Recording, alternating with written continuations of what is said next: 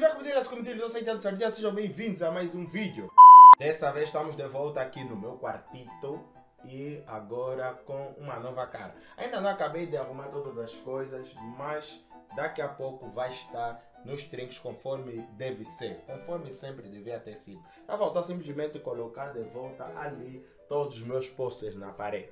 Então, ainda não estamos, você vai fazer o básico, descer no canal da tela, se inscrever no canal, deixar o teu like e vamos para as notícias de hoje.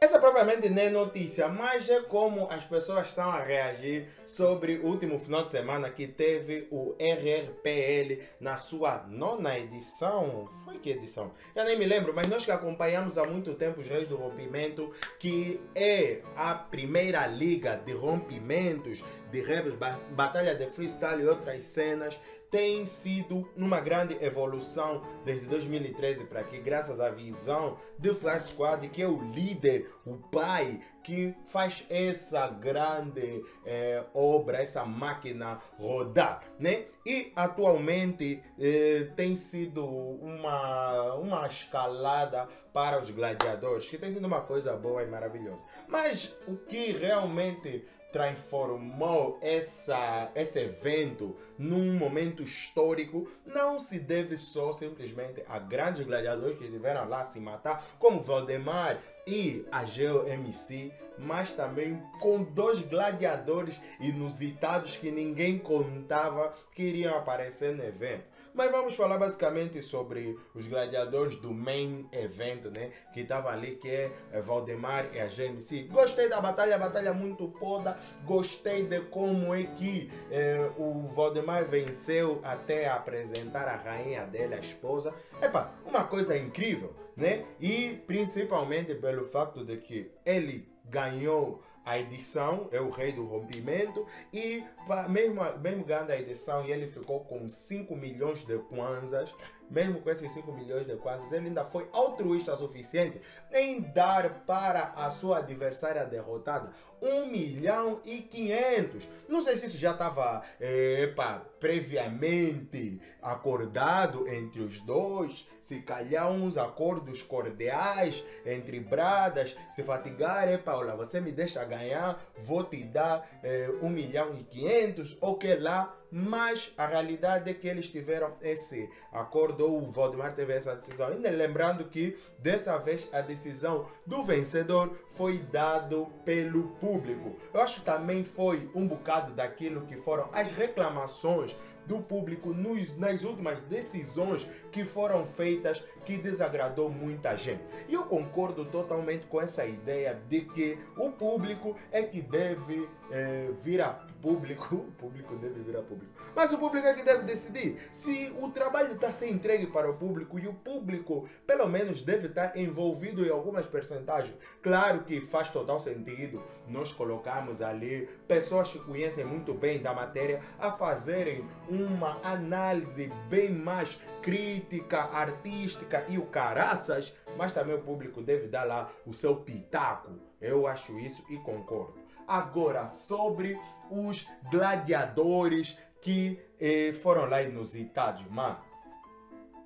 Essa é uma das maiores batalhas que existe de, do mundo eh, dos famosos, dos cantores angolanos. C4 Pedro versus Preto Show. Essa é uma batalha que ninguém sabe quando é que vai terminar. A única pessoa até hoje que conseguiu fazer uma junção boa que todo mundo gostou e amou e foi mesmo debater palmas. A única pessoa que conseguiu fazer isso foi o Márcio Beat, que conseguiu fazer um beat onde ele misturou C4 Pedro e Preto Show e ficou uma coisa incrível, um autêntico benga. Mas eles não querem saber dessa eh, amizade, dessa eh, esse entrelace, não querem saber. Eles só querem saber de pânico. E o pânico dessa vez começou pelo simples fato de que o Preto Show resolveu que tinha que oferecer ao Brasa que estava ali a se gladiar, a se degladiar com um convidado português. Então o Preto Show viu, para Brasa tá mandando Brasa, vou lhe oferecer 100 mil kwanzas.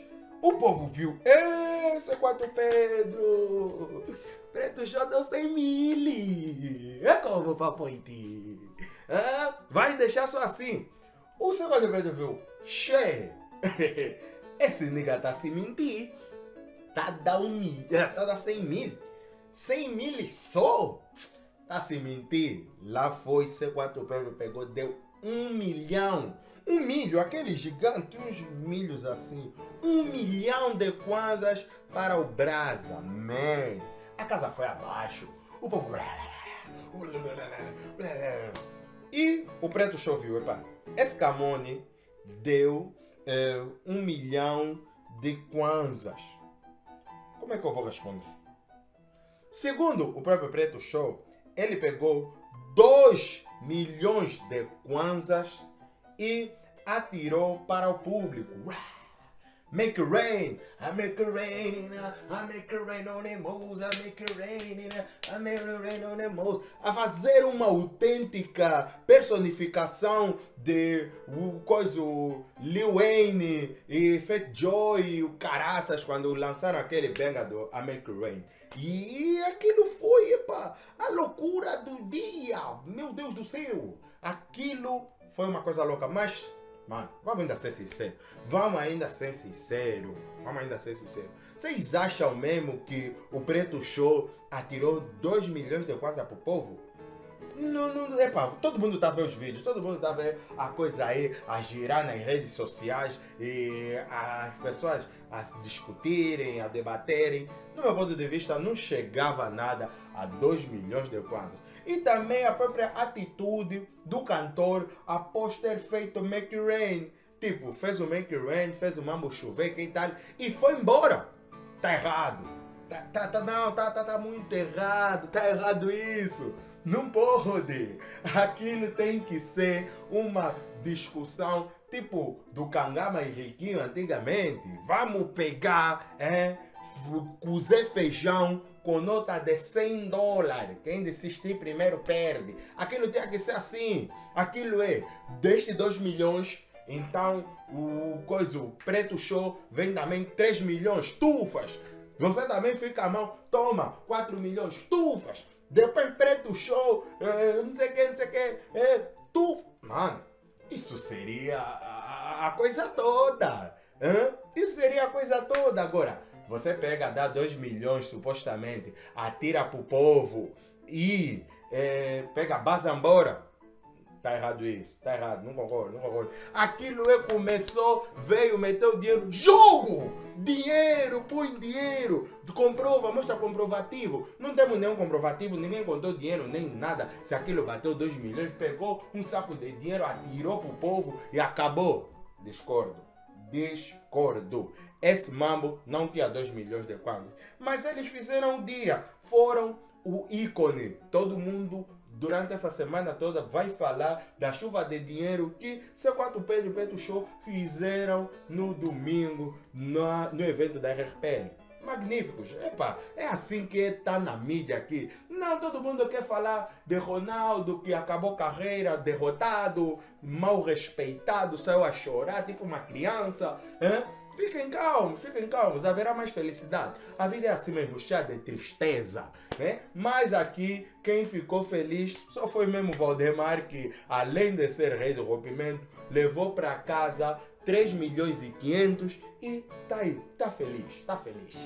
Bom pessoal, esse foi mais um vídeo, espero que vocês tenham gostado desse vídeo. Não esqueça de descer um bocado a tela, se inscreva no canal, deixa o teu like e ativa o sino das notificações. E diz aí o que, que você acha, foram mesmo 2 milhões lançados por público? Você concorda com isso? É, vamos, vamos debater, vamos conversar, vamos falar sobre esses 2 milhões mesmo que supostamente o público se é, beneficiou atirados pelo Preto Show. Bom, deixa um bocado a tela, se inscreva no canal, deixa o teu like, compartilha esse vídeo, traga mais amigos aqui para se inscrever no canal ativa o sino das notificações aqui embaixo, o se inscrever, esse botão que está aqui embaixo, vermelho. Assista também esse vídeo que está aqui. Vai mesmo lá com o dedo concursor. Nós vemos no próximo vídeo. Fiquem bem porque eu basei.